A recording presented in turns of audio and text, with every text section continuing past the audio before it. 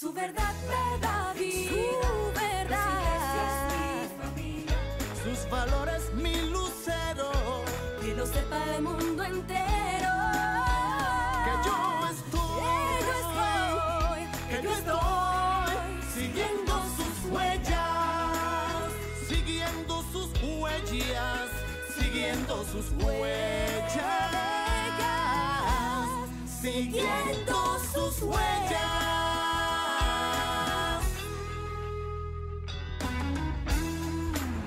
Bienvenidos a una nueva semana de Siguiendo sus huellas. Nosotros aquí extremadamente felices de tener esta gran familia que abre su corazón al Señor cada semana para escuchar su palabra y para estar en común unión. Hola, Benito.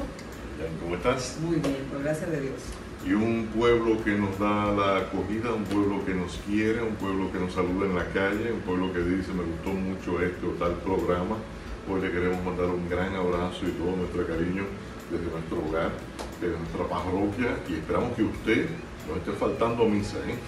Esperamos que usted, así como va al supermercado, va a su trabajo, va a todas sus obligaciones, considere una necesidad, un hambre de poder ir a la celebración. Con su protección, su mascarilla, el tema del uso del alcohol y el distanciamiento, todo eso hay que usar. Hoy le tenemos un programa muy especial, programa que va de la mano con ese Jesús que nos entregó a su madre, pero en particular vemos a la protectora, a la madre protectora de la República Dominicana, la Merced, la Virgen de las Mercedes, a su merced, mi señora madre. Hoy queremos decirle a usted que es devoto de la Virgen de las Mercedes, que estar atento a lo que es la misericordia de Dios, a su gracia, a su amor, conlleva también ciertos pasos, ciertos lineamientos, ciertos requerimientos.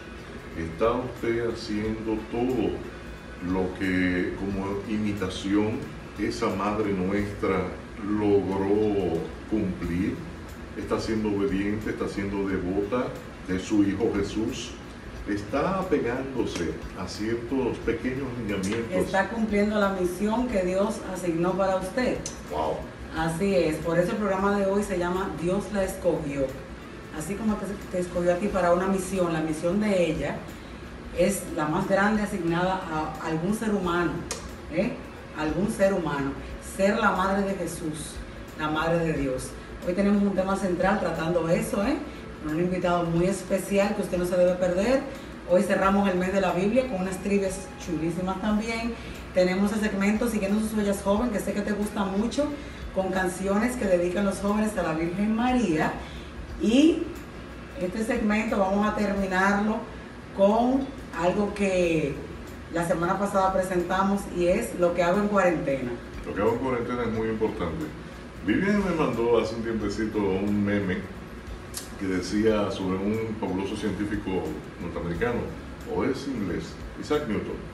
Isaac Newton creó la teoría esta, la teoría aquella y todo un montón de teorías. Nosotros estamos aprovechando el tiempo como todas esas leyes, toda esa imaginación que en el pasado personas como nosotros, por medio de inspiración divina o simplemente enfoque a lo que es importante, fuimos productivos.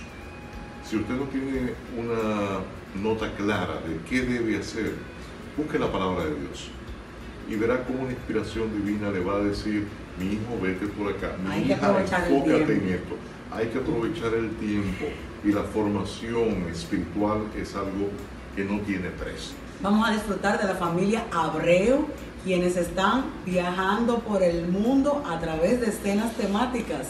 Vamos a ver algo interesante que podemos replicar en nuestra casa.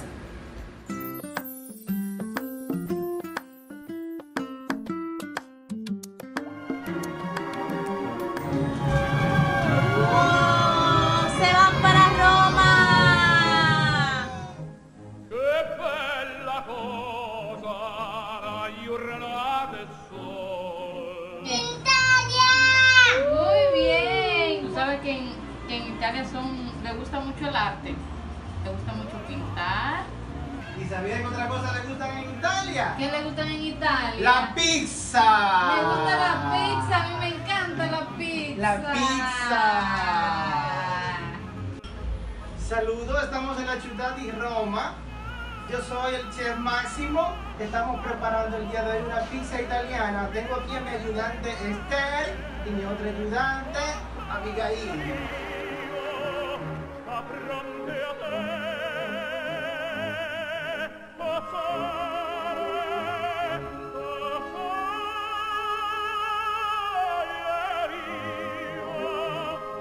Su verdad me da vida. Su verdad.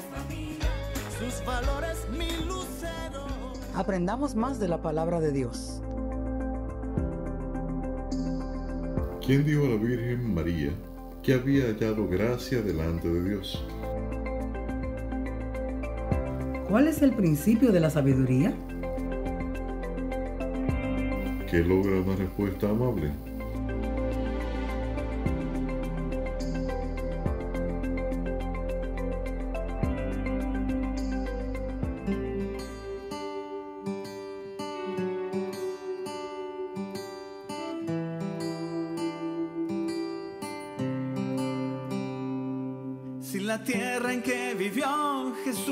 Santa, imagina el vientre que lo dio a nacer. Si el Espíritu de Dios fue a su encuentro, mucho antes que el mismo Pentecostés. Si el arcángel la llamó llena de gracia, cuando nadie sin bautismo lo podía hacer.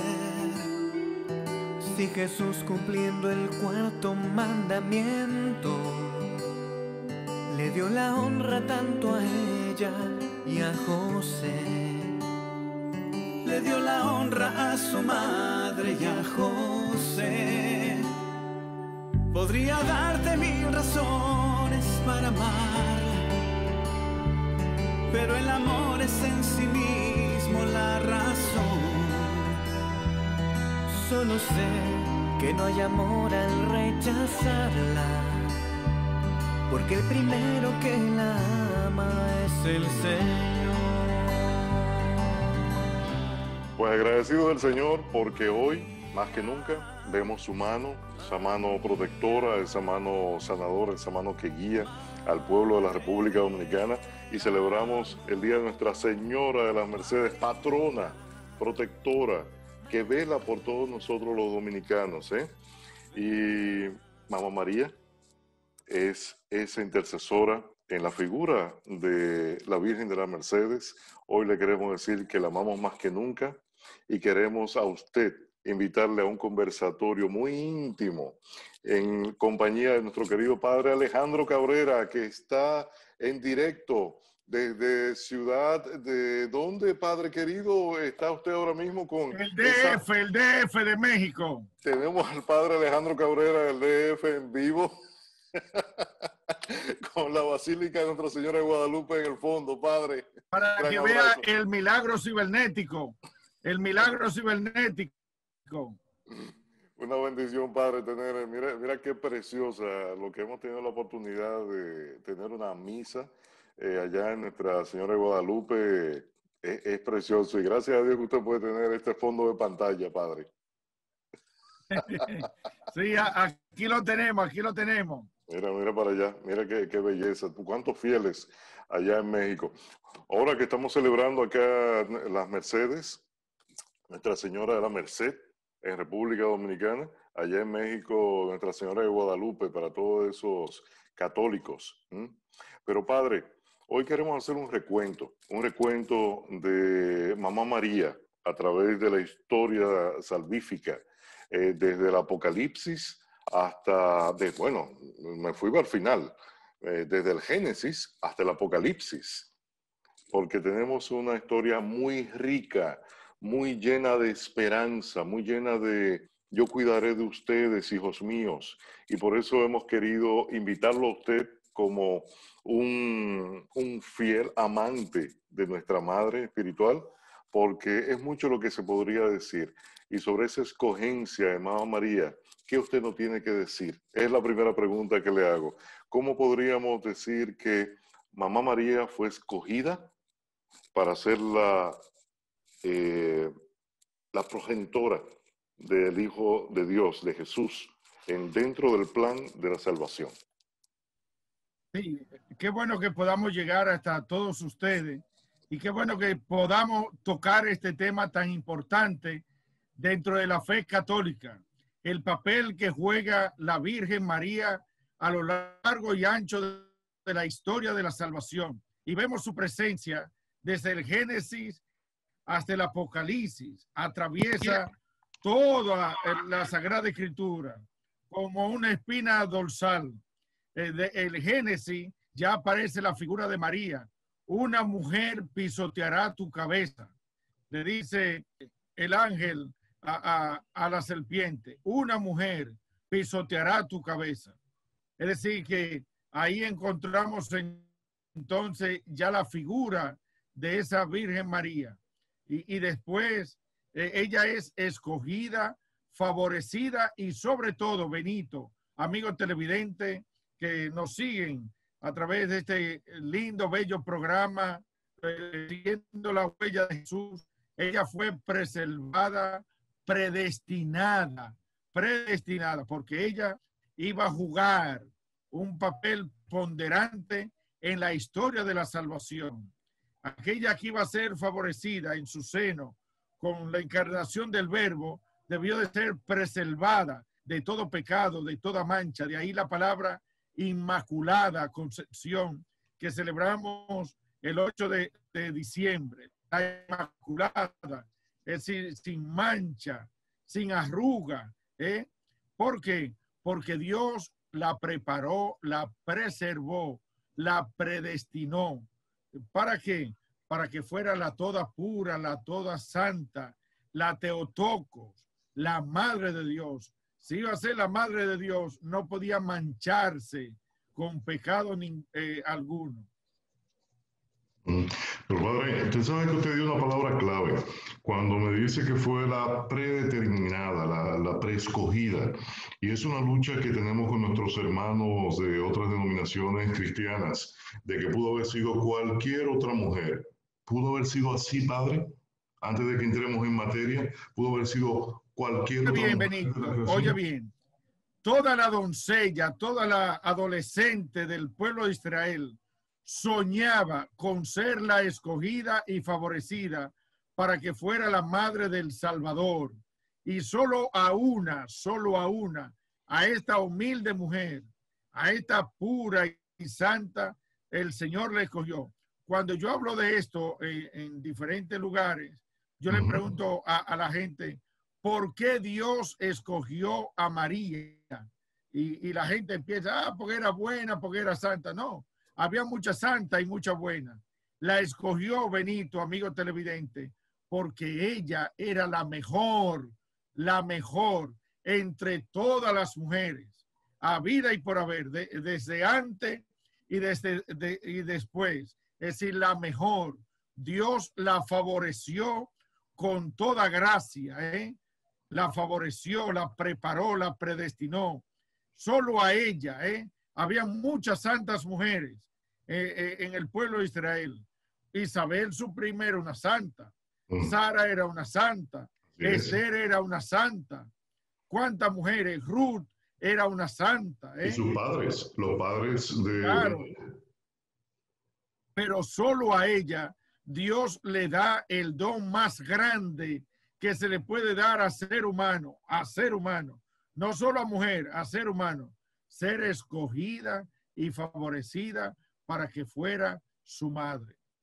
Nadie ha elegido a su madre, nadie. Dios quiso escoger a la suya y eligió a quien, Benito, amigo televidente, escogió a la mejor entre todas las mujeres. Así dice eh, el Ave María, entre todas las mujeres.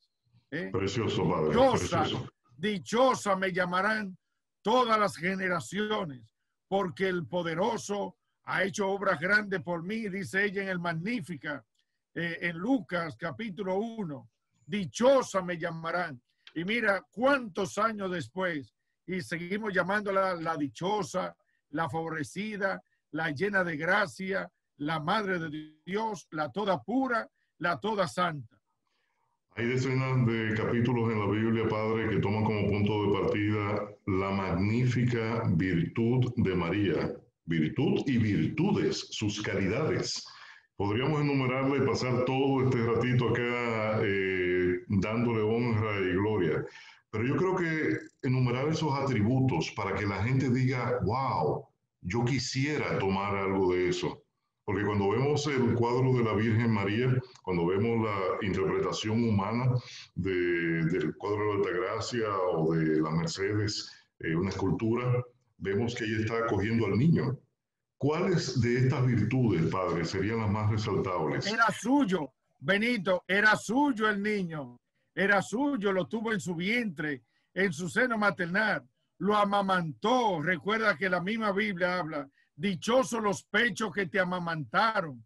Es decir, ella es la madre de Dios doblemente porque lo tuvo en su seno, lo parió y porque nadie como ella escuchó y vivió la palabra de Dios. Aquel episodio de tu madre y tus hermanos te buscan cuando Jesús dice, "Eh, mi madre y mis hermanos son los que escuchan la palabra. Nadie escuchó, le puso atención y vivió la palabra de Dios como ella. Es decir, que es madre de Dios eh, doblemente, según ese texto bíblico. Por eso ella es modelo de fe, modelo de santidad, modelo de entrega. Incluso hay un título muy bonito, Benito, en este mes de septiembre, mes de la Biblia, de la que es la mujer, la mujer de la escucha, la mujer de la escucha de la palabra. Todo lo guardaba donde? En su corazón. Hágase en mí según tu palabra, dice ella. Hágase en mí. ¿Cuál palabra? La palabra que el ángel le transmitía de parte de Dios. He aquí la esclava del Señor. Hágase en mí según tu palabra. Precioso Padre. Y usted me hizo recordar el por qué yo venero a María en lo particular como persona, como hombre, como creyente. Cuando yo veo a María que está venerando al Hijo, a ese Hijo que como usted mencionó hace un momentito, ella lo amamantó, ella lo cuidó, ella lo subió, porque imagínense, si en aquel entonces los hombres eh, tenían otra figura en la sociedad, en la familia, yo me imagino que esa María tomó a su niño y lo creció y lo hizo crecer en todo el sentido de la palabra.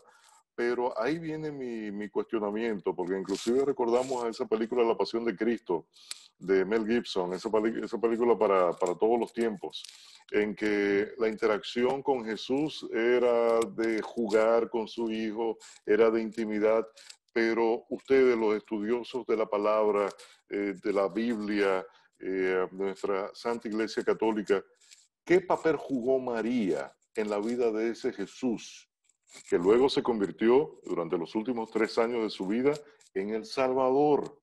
Ese fundamento que se lo dio su madre María, a la cual hoy veneramos, a la cual hoy confiamos, es protectora de la República Dominicana y donde está usted allá con la Virgen de Guadalupe en México.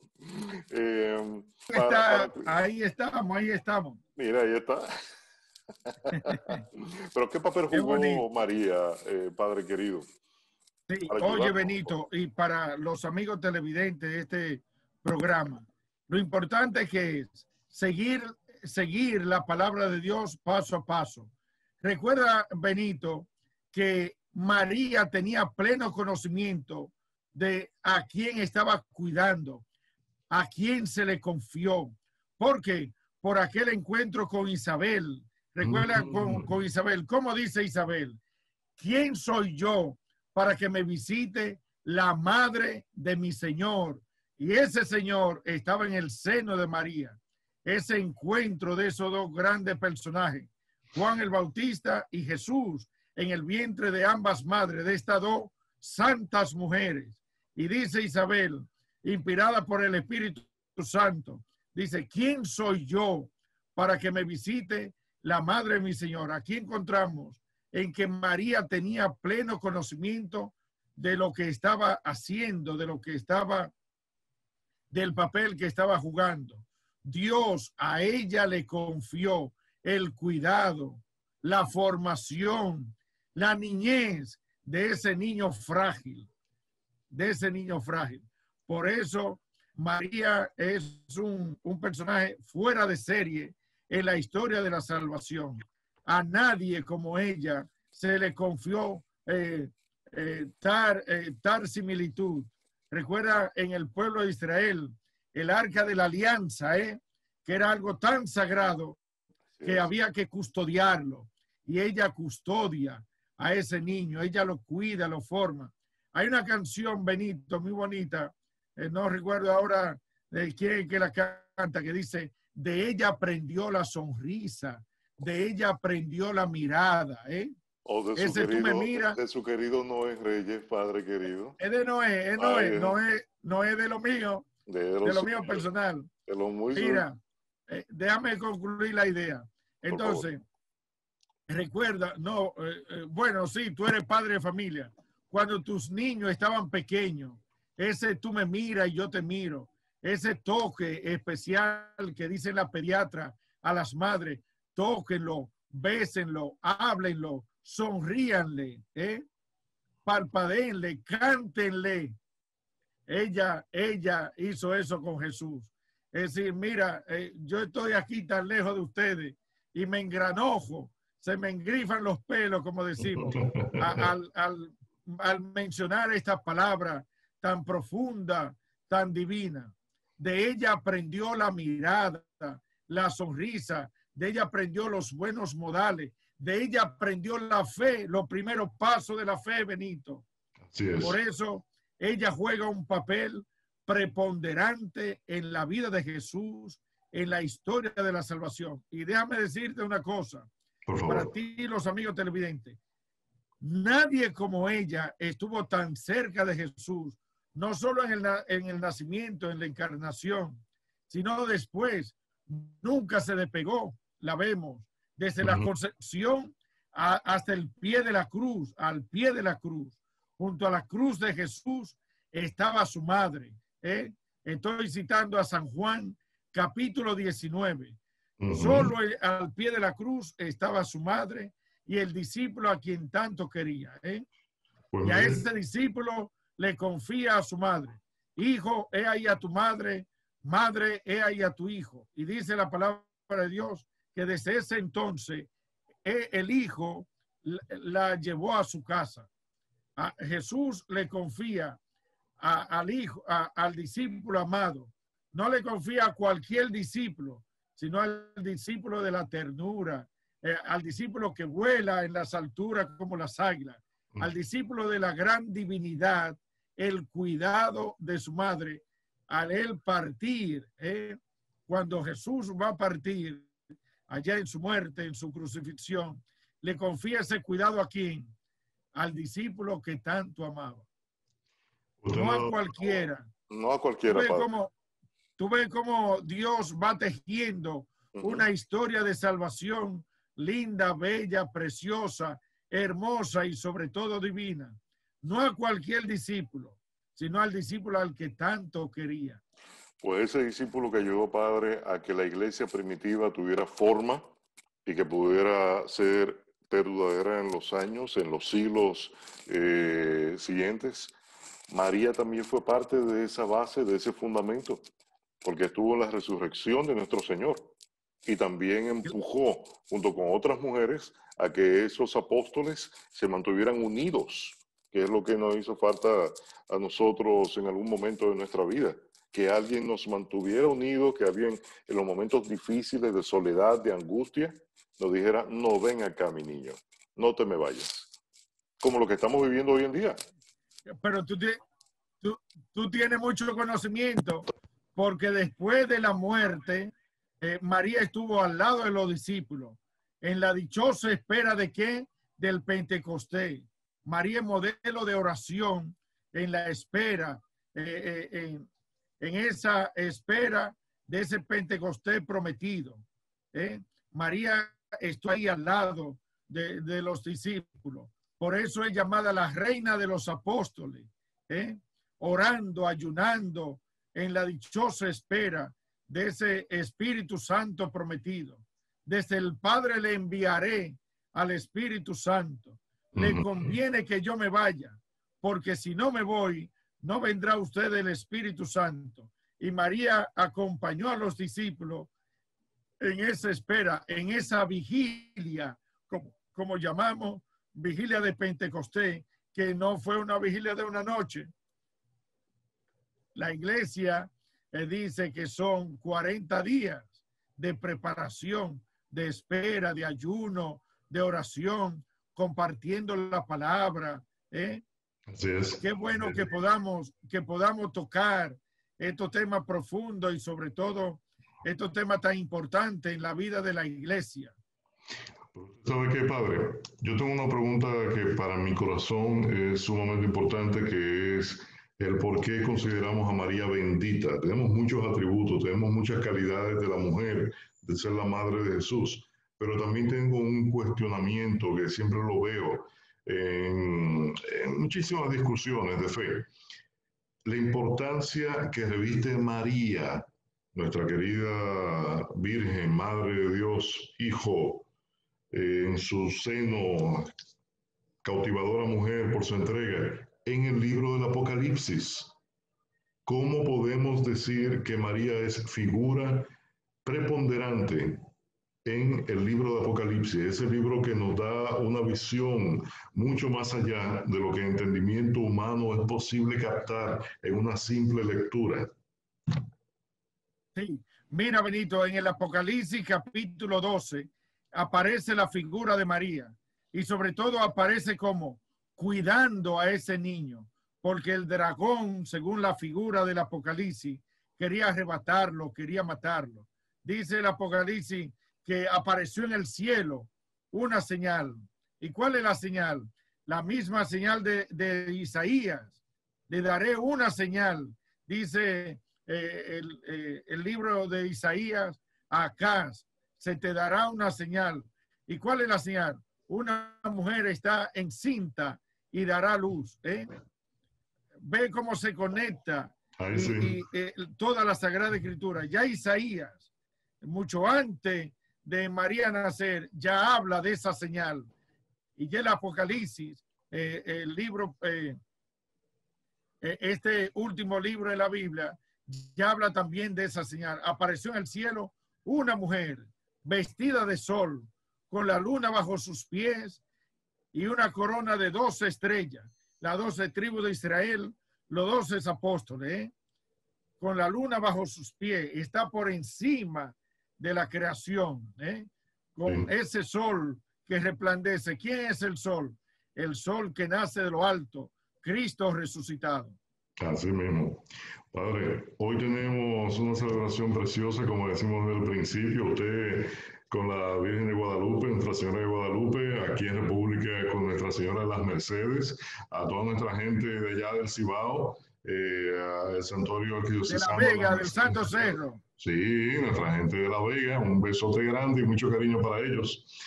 Claro, claro. Es una pregunta la que le voy a hacer para ya despedirnos y para que usted le diga a todo nuestro pueblo que a veces confunde, confunde, mire, de una manera que hasta sacrilegio y me preocupa mucho, en verdad, la veneración. ¿Por qué debemos venerar? Venerar a la Virgen de las Mercedes, a nuestra querida Mamá María, la Virgen de la Altagracia eh, en su advocación, pero la veneración y confiar en su intercesión, que es uno de los elementos más importantes, porque viene de la fe, esa fe que Dios nos regala. Mira, es un tema muy bonito y sobre todo muy humano, muy humano. Vamos a verlo desde el punto de vista humano. Vivian, tu esposa, ¿cuántos años tienen de, de casado? Ya vamos para 20. 20. ¿Verdad que ese amor se convierte en una veneración? Eh, ya ese amor se convierte en algo tierno, dulce, que ya tú no puedes vivir sin, sin Vivian. ¿eh? Ha sido un regalo de Dios para ti, para que formen una bonita pareja. Y ya Vivian para ti, ya, ya tú la, la tratas de, de una manera elevada, por encima de muchas mujeres, porque la conoce a profundidad. Y cada día le da un puesto privilegiado entre todas las mujeres que conoce. Tú conociste muchas mujeres en tu vida. tu No, compañera no, de no tanto, estudio, dos, las vecinas. una. No, no, no de novia, sino que cono- conociste, trataste a, a- Sí, a cierto, muchas es mujeres en la iglesia, en los trabajos, pero Vivian, tú la tienes en un sitial un, po- un poco más elevado porque la conoce a profundidad. Cierto. Sabe su gusto, su capricho, sus emociones. ¿Por qué? Porque por el tiempo, entonces ahí se da entonces lo que llamamos veneración. Esa gente que está en lo profundo de nuestro corazón, en lo profundo de nuestra fe, que conocemos su historia, que conocemos su testimonio, su entrega, su sacrificio, que hemos compartido con ellos. Por ejemplo, tenemos de recuerdo ahí cuando yo digo Monseñor Sedano, ¿qué se me llega a la mente? Un santo, un santo. ¿Tú ves? Entre mucha gente, Monseñor Sedano juega un papel de santidad. Fue un testimonio de santidad que recordamos con mucho cariño.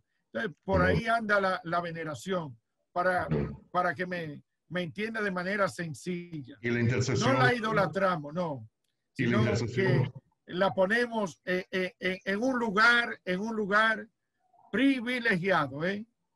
Y esa intercesión sabemos que como ella es la reina del cielo, entonces desde allá ella intercede. Por eso tanto título bonito. A mí me encanta el de María Auxiliadora, eh, el Perpetuo Socorro. Ella es esa madre. De, hay una frase muy bonita que dice que todos al cielo vamos a descansar, menos ella, porque la madre no descansa. La madre siempre está vigilando, la madre siempre está velando por sus hijos, eh, acompañando, intercediendo. Una buena madre siempre está atenta al cuidado de quién, de sus hijos. Amén, amén. Pues Padre Alejandro Cabrera, le queremos muchísimo, hemos disfrutado de este momentito a la distancia. En verdad que le damos gracias a Dios por Hay su un vida. milagro, hay un milagro, un milagro cibernético. ¿eh? Qué bonito que podamos eh, tener a mano estas herramientas de, de Internet, de las redes sociales, para poderse trasladar, transportar a, allá a ese gran santuario, esa gran basílica de Guadalupe. Déjame darte un close-up. Ahí está el. Ah, Ahí está. Preciosa, Ah, Ahí preciosa. está, ahí está, ahí está. Preciosa. Incitamos a que el dominicano que pueda Esos son de los juegos cibernéticos, de los juegos cibernéticos, ¿eh? Padre. Yo, yo dije, déjame darle una sorpresa a Benito y a los amigos mira, televidentes de siguiendo sus sorpresa. huellas. Bellísima sorpresa, Padre. Muchos devotos, mucha gente que confía eh, en esa protectora que intercede por nosotros y más en un tiempo tan particular como el que estamos viviendo hoy en día, en que necesitamos dirección, necesitamos guía. Oraremos por usted, Padre, oraremos por su vida, Gracias, gracias, gracias. por nosotros y por todos los feligreses que ponemos en mano de Dios todos nuestros deseos más íntimos y los deseos de orar y de cuidar a los demás, que es muy importante. ¿eh? Amén, amén. Gracias. Un beso grande, Padre, le queremos y mucho cariño, mi familia, yo y nuestra parroquia El Buen Pastor. ¿eh?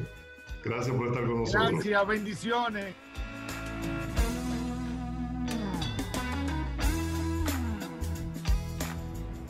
Hola, bienvenidos a este su segmento Siguiendo sus huellas joven. Para mí es un placer estar aquí con ustedes en el día de hoy, de manera muy especial en este mes en el que celebramos a nuestra Madre María. Les vengo a traer un grupo de jóvenes que les dedicamos diversas canciones a nuestra Madre. Yo de modo particular quiero dedicarle la canción Contigo María de Atenas, pues en esta canción refleja exactamente lo que yo siento por nuestra madre. Es una mujer que nos acompaña y que nos acoge con su gran amor y que nos lleva poco a poco a Jesús. Así que a nuestra hermosa madre en este tiempo eh, quiero agradecerle y dedicarle esta hermosa canción ya que ella siempre me apoya y me ayuda a salir de momentos difíciles. Contigo María. Guía mis pasos, llévame al cielo,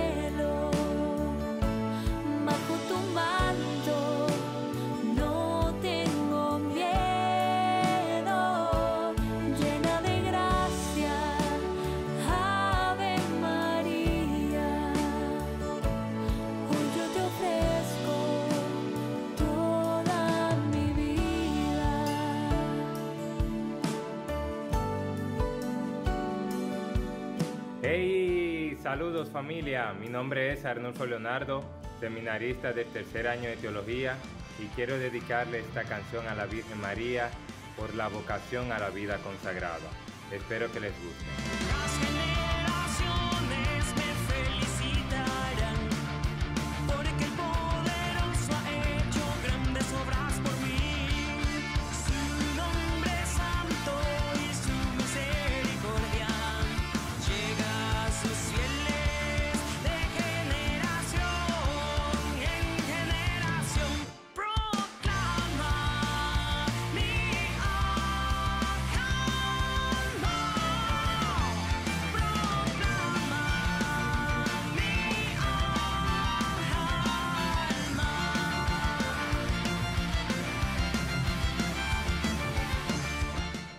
Mi nombre es Carol, pertenezco a la parroquia El Buen Pastor.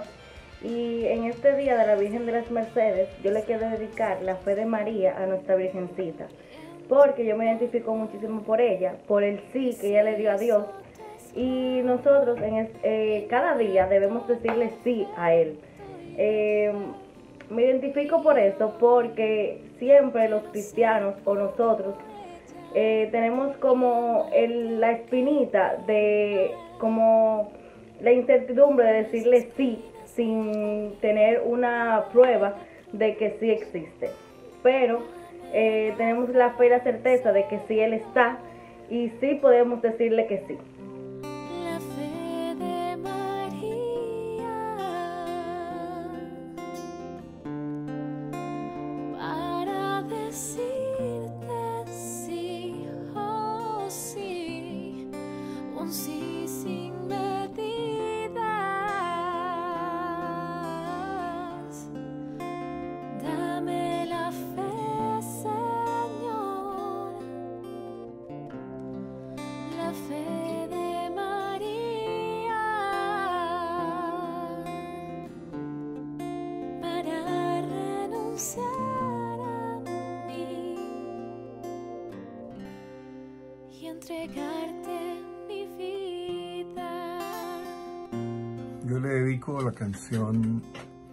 María es la mujer frente a la cruz a nuestra Madre María, porque así es ella.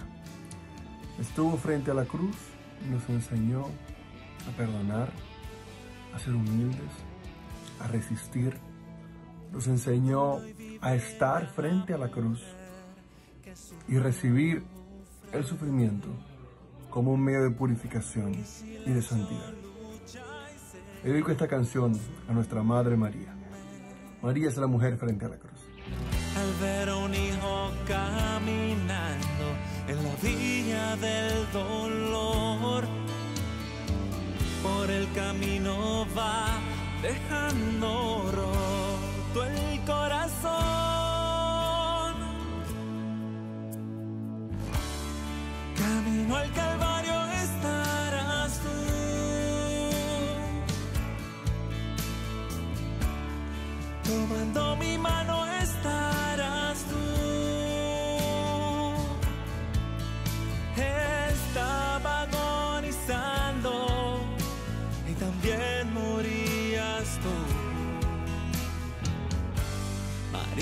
Mujer frente a la cruz. Muchas gracias por estar con nosotros a través de todo este segmento siguiendo sus huellas joven. Espero que lo hayan disfrutado y les recomiendo que escuchen todas las canciones aquí recomendadas para que se deleiten un poco con las canciones dedicadas a nuestra madre. Seguimos con más de Siguiendo sus huellas. Desde el aposento alto, a Jesús nos llevará. Aprendamos más de la palabra de Dios. ¿Quién dijo a la Virgen María que había hallado gracia delante de Dios? El ángel Gabriel, en Lucas 1, versículo 30. ¿Cuál es el principio de la sabiduría? El Salmo 111.10 nos dice, el principio de la sabiduría es el temor al Señor. Es sabio, de verdad, el que así vive. Su alabanza perdura para siempre. ¿Qué logra una respuesta amable? Una respuesta amable calma la ira, Una palabra hiriente hace que aumente la cólera. Proverbios 15, versículo 1.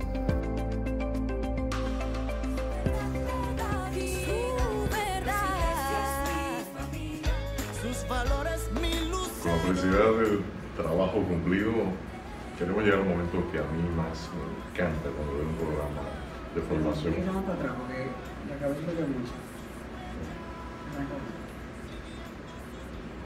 agradeciendo a Papá Dios porque nos permite servir y servir en eso que busca dejar un legado. Hoy queremos darle las gracias. Las gracias porque usted ha estado con nosotros, en nuestra pequeña familia, en nuestra gran comunidad, en nuestro pueblo católico, en nuestro pueblo cristiano en general. Síganos en las redes sociales, sea por Instagram, sea en nuestro parroquia Buen Pastor, que inclusive le invitamos cada semana al Santo Rosario. Ese Santo Rosario que busca la intercesión de Mamá María para llegar a su Hijo Jesús. ¿Mm? Todos Con los días. peticiones. Todos los días en el Instagram de El Buen Pastor SB. Tenemos un momento especial, un momento de orar, un momento de pedir esa comunión para que usted junto con nosotros saque un breve espacio y le diga, Señor, te necesito, quiero que tú estés conmigo, yo quiero estar contigo, permíteme estar en comunión y mi familia para poder orar de esta manera. Vamos a pedir la intercesión de nuestra madre, como sucedió en las bodas de Caná, que aún no llegaba el tiempo de Jesús iniciar su misión, pero tú, Madre María, arrancaste este milagro de tu amado Hijo. En el nombre del Padre, del Hijo y del Espíritu Santo. Amén. Señor Jesús, venimos aquí junto a tu Madre María, en la advocación de las Mercedes, quien es patrona de nuestra República Dominicana, para pedirte, mi Señor, para que termine esta pandemia, mi Señor. Por todo el mundo te queremos pedir en este momento, Señor. Para que podamos encontrar, Señor, la forma de aprender de lo que hemos vivido, Señor, de aplicar la resiliencia en nuestra vida y poder sacar lo mejor de lo que hemos vivido, Señor. Ser mejores seres humanos. Ayúdanos, Señor, a comprender el para qué de cada situación en nuestra vida. Ayúdanos, Señor, a comprender la escogencia tuya para cada uno de nosotros desde el vientre de nuestra madre, en la misión que nos has encomendado como lo hiciste con tu amada Madre María. Jesús, en ti confiamos y ponemos nuestras familias a tus pies, Señor. Te presentamos nuestros hijos, te presentamos a nuestros padres, Señor. Te presentamos nuestro medio de sustento. Te presentamos nuestra santa iglesia, sus pastores, Señor. Nuestros amados sacerdotes, diáconos, religiosas, Señor. Regálales un nuevo impulso para llevar la palabra de Dios a los confines de la tierra. Y a nosotros los laicos también, Señor, renueva nuestra fe y ayúdanos a tener familias de fe. Instaura tu Espíritu Santo en cada hogar, Señor. Gloria a ti, mi Señor. Sabemos que tú escuchas nuestras oraciones, Señor. Danos un corazón, Señor, constricto y humillado para poder escuchar tu voz, Señor Jesús. Gracias, mamá. Gracias, Señor Jesús. Usted, se necesita un gran abrazo el día de hoy por parte del Señor, recíbalo de nuestra parte, dentro- que somos sencillas personas, laicos.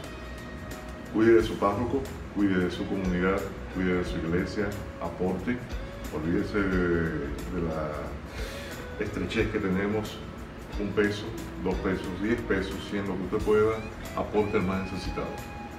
Así como María sacó un milagro del Señor Jesús, tiene un milagro para usted esta semana. Amén. Nuestro pueblo le ama. El Señor le bendiga mucho, mucho cariño le decía en sus huellas. Excelente semana.